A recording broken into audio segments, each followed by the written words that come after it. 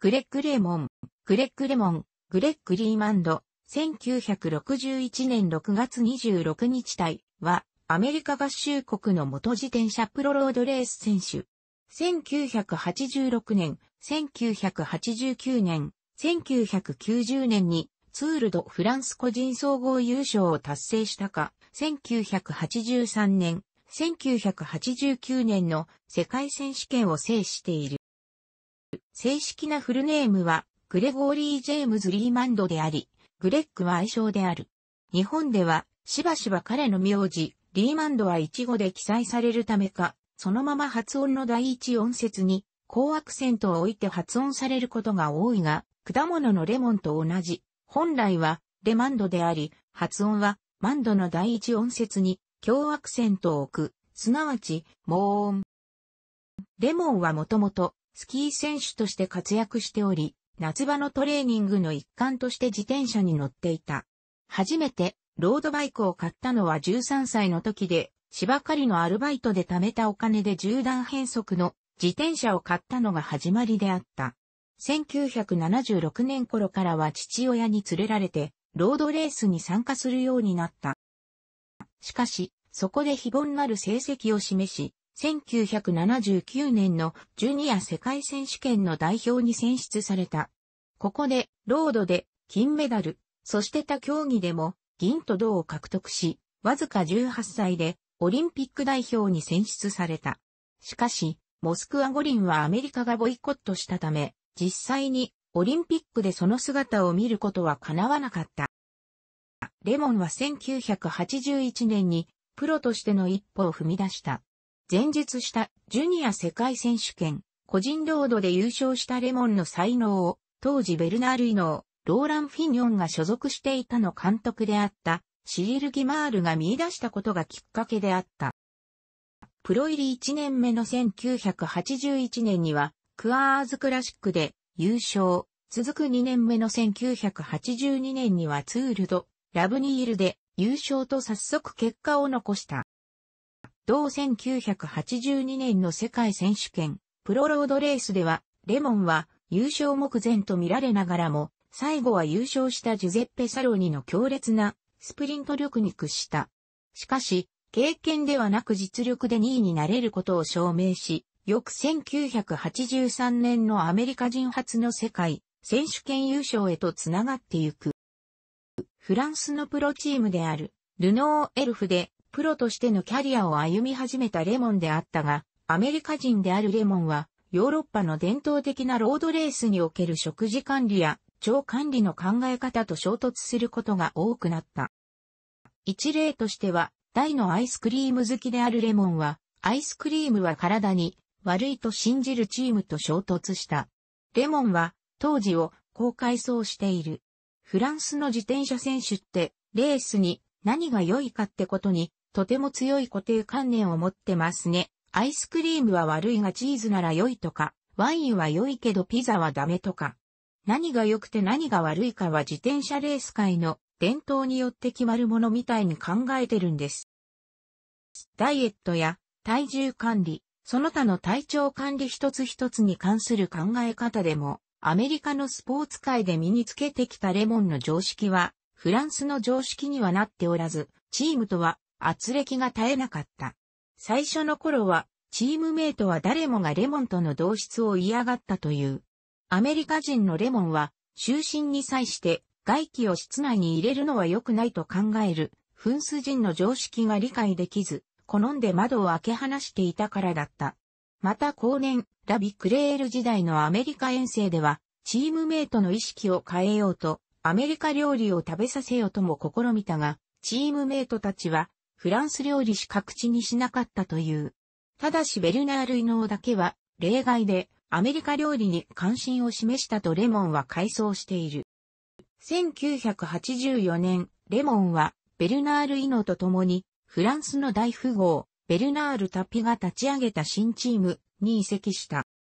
そのラビクレールで、イノーのアシストとして参戦した1984年のツール・ド・フランスでは、レモンは初参戦ながら3位でゴールし、マイオブラン、新人賞を獲得する。なお、この年の優勝者は、後年のライバルであるローラン・フィニョンであり、エースの伊能は2位であった。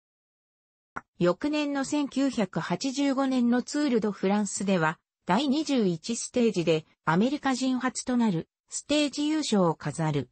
さらに、1986年のツール・ド・フランスでは、ヨーロッパ以外の出身の選手として初となる総合優勝を飾ったが、これにはツール史上稀に見る同一チームの選手による争いが伴った以下に小述。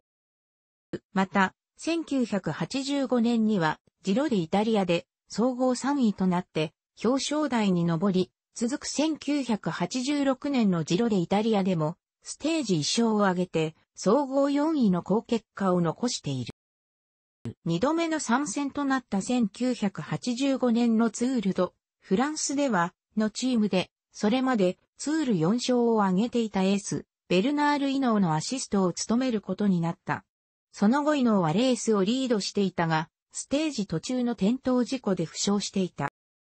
第17ステージでレモンは、イノーを置き去りにして、先頭集団についていった。このため監督であったパウル・ケヒリは、レモンに対し後方に下がるよう指示を出した。しかしステージ終了後、レモンは異能に2分25秒の差をつけてリードしていた。このため当日の夜、緊急のチームミーティングが開かれた。そこで、オーナーにより、異能に総合優勝させる、レモンには、ボーナス、日本円にして約3、0円を支給するというチームオーダーが決定された。このツールでレモンは伊能に次ぐ2位でレースを終えたが、伊能のツールドフランス5勝のために、自らの勝利は諦めざるを得なかった。その後レモンはインタビューで、チームマネジャーとコーチのポール・コークリが、レモンに嘘を伝えていたと暴露した大切なステージ中、伊能とのレモンの差はプラス3分以上あると伝えていた。これに対し伊能は、来年は自分がアシストに回ることを約束した。しかしながら1986年のツールド、フランスでは12ステージに、伊能は不調のレモンを置き去りにして逃げを決め、五分のアドバンテージをレモンに対し気づいた。翌日も伊能は逃げを決めるが、約束を保護にされたことに激怒したレモンが、じわじわと盛り返し4分半を取り戻した。パフォーマンスとして、ラルプ・デュエズでの頂上ゴールで二人は手取り合って、ゴールしてみせたが、伊能は必要にアタックを続けた。結果的にこの年のツールを制したのはレモンであったが、選手のみならず観客にとってもストレスの溜まるレースとなった。露骨なまでのチーム内での裏切り自体珍しいことだが、それを異能のようなスター選手が行ったことは衝撃であった。彼はイオタで全く僕をアシストしてくれなかった。彼にはもう尊敬の念のかけらすらないよ。それどころかこのレース後は、彼とはもう友達でもない。こんな裏切りはありえないよ。とレース後に、レモンは語っている。なお、異能の行動については、レモンのライバルを罠にかけるため、あえて陽動作戦を実施した前人未到の通6勝目に目がくらみ、自らの約束を果たさなかったといった様々な憶測がなされている。ツール終了後に開催された同年のクアーズクラシックでレモンと伊能の中は決定的に決裂した。このレースで伊能は現役最後の優勝を果たすことになるが、レモンはこのレースでは伊能のアシストに回っていた。しかし、レース中順位を上げようと速度を上げたレモンの走りを、伊能は自分へのアタックと思い込み、レモンを激しく非難した。それに対してレモンは、このレースでは自分はアシストに徹するつもりだとして弁明を試みたが、伊能は聞かず、二人は激しい口論となってしまった。ここで二人の仲は完全に終わってしまったとレモンは語っている。1987年のツールドフランスを2ヶ月後に、控えた1987年4月20日、レモンにとって不幸な事故がカリフォルニアで起きた。狩猟中、同行者の散弾銃の弾がレモンの胸に当たったのである。レモンは大量に出血し、生死の淵をさまよった。一命を取り留め、その後はリハビリに励むものの、都合2回、ツールドフランス出場が不可能になった。この間、所属チームも、東芝ルック、前身はラビクレールからと変わったが成績は振るわず、プロロードマンランキングも1986年の6位から345位にまで下降してしまった。1988年、PDM から放出される形で、ベルギーの弱小チーム、ADR、ボテッキアに移籍した。復活を期した1989年、ツール・ド・フランスに先立って参戦したジロディイタリアでもレモンは総合47位と振るわず、総合優勝を果たしたローラン・フィニョンの春加工人を排することなった。しかし、最後の個人タイムトライアルでは2位と検討し、復活の兆しも見せつつはあった。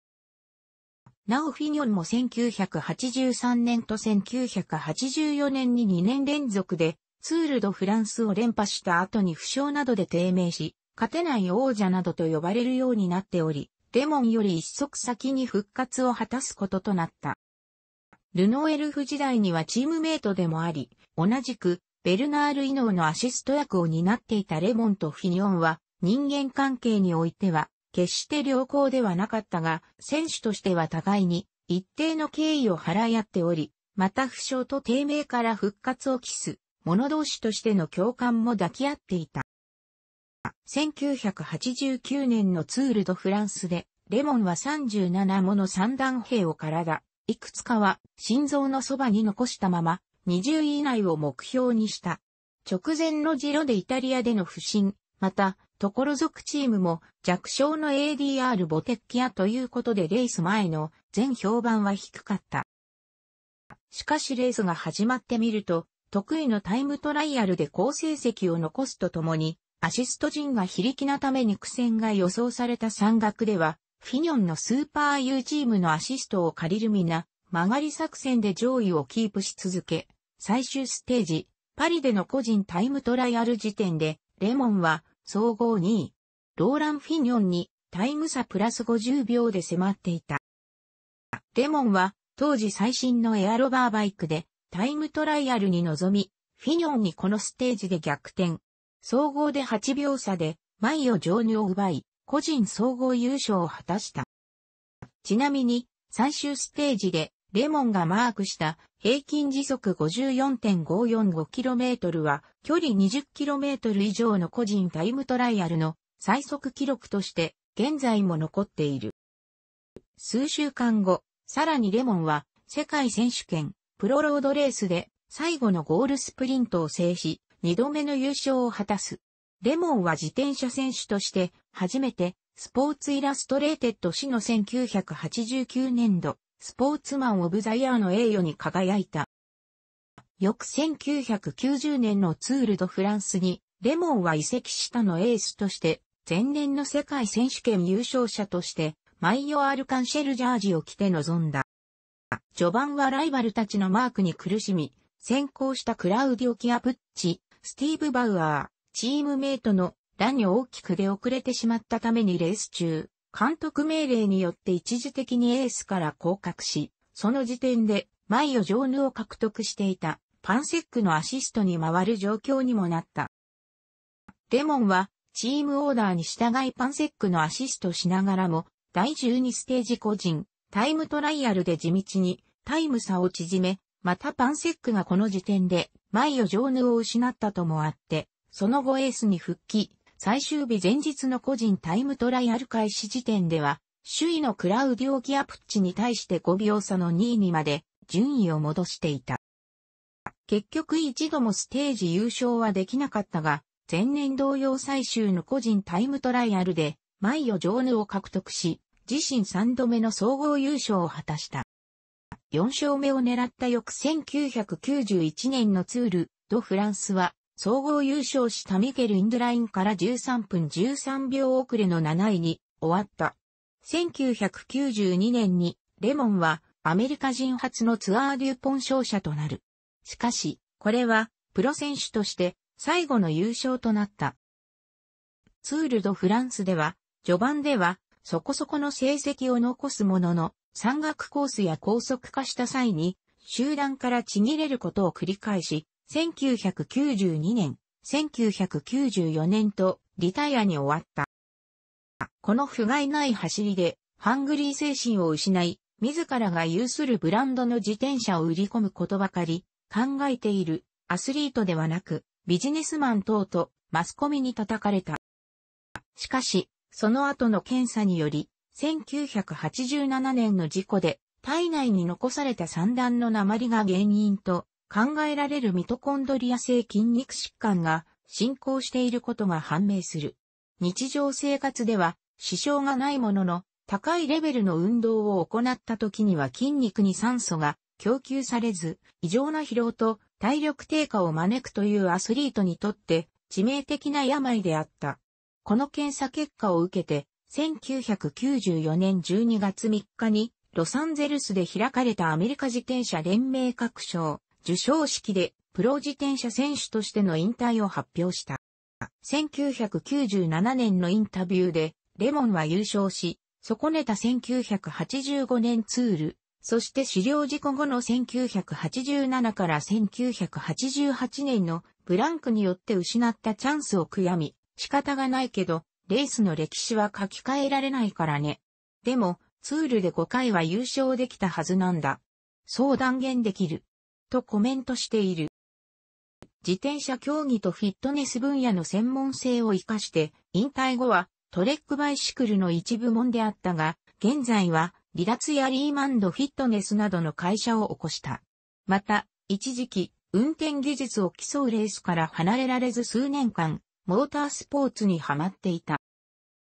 2005年に行われた日本のアマチュアレース、ツールド、草津には特別ゲストとして参加し、日本のファンに元気な姿を見せた。2009年ツアーオブジャパンにも特別ゲストとして来日し、最終東京ステージでは、パレード走行時に先導役を務めた。2013年10月に、岩手県陸前高田市で行われたツールド、三陸には別名誉ライダーとして参加。被災地へのメッセージを寄せた。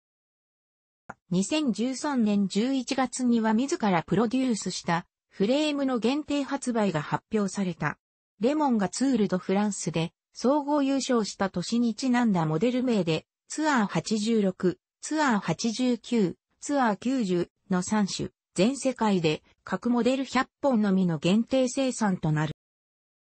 現在はミネソタ州メディナ在住、口述のように後年ランス・アームストロングのドーピング問題を激しく批判したレモンであったが、それ以前の現役時代からロードレース界のドーピングと薬物規制の緩さに対して一致して批判していた。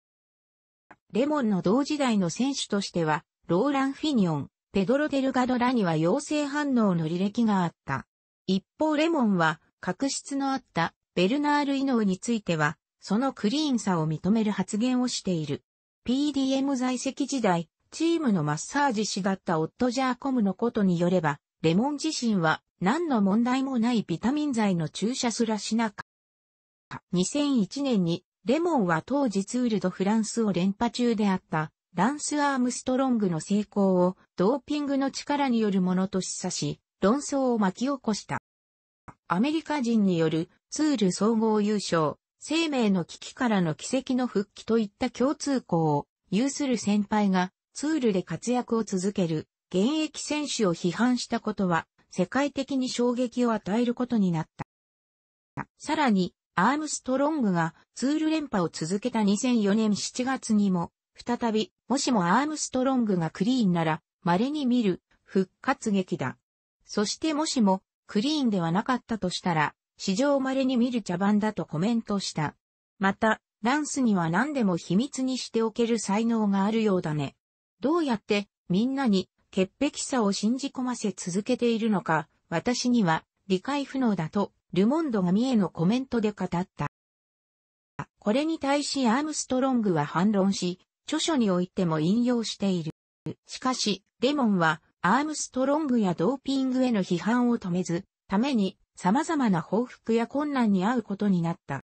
2012年8月24日、米国反ドーピング機関、ウサダは、ドーピング違反で告発したランス・アームストロングについて、7連覇を達成したツール・ド・フランスのタイトルが含まれる198年8月1日から現在までの競技成績を剥奪、さらに自転車競技からの永久追放処分を課す、と発表。2013年1月14日には、アームストロング自身もドーピングを行っていたことを認めた。1977年、1979年、1981年、1982年、1983年、1984年、1985年、1986年、1989年、1990年、1991年、1992年、楽しくご覧になりましたら、購読と良いです。クリックしてください。